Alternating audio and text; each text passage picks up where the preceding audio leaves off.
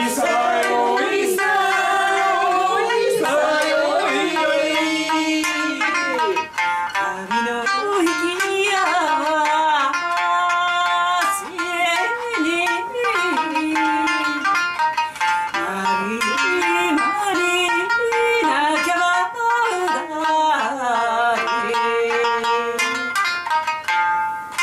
逆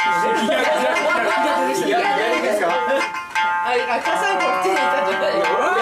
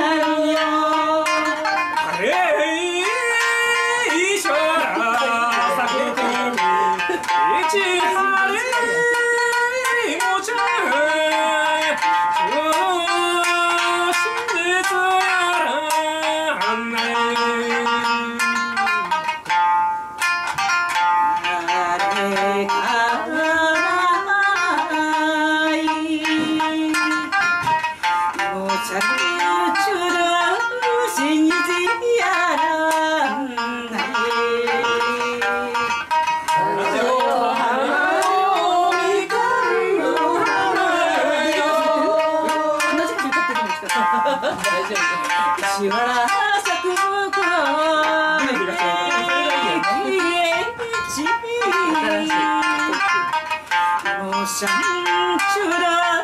真実やらない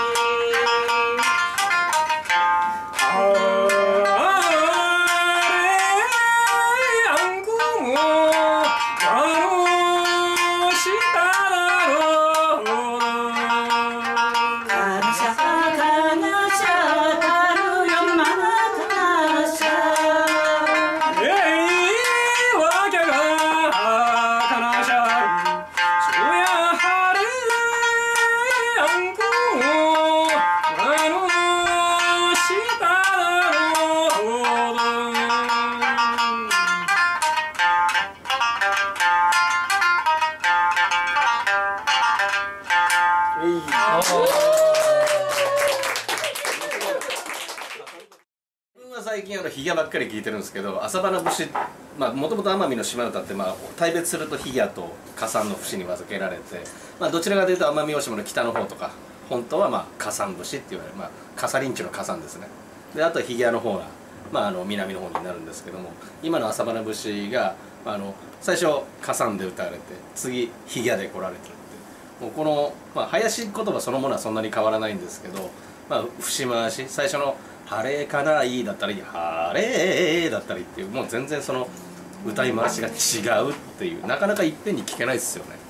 今日のこれはちょっと特別ですね。すごいスペシャル。ですね。奄美の火山とヒギャ歌をいっぺんに聴けるっていうのは企画してもなかなかできない。し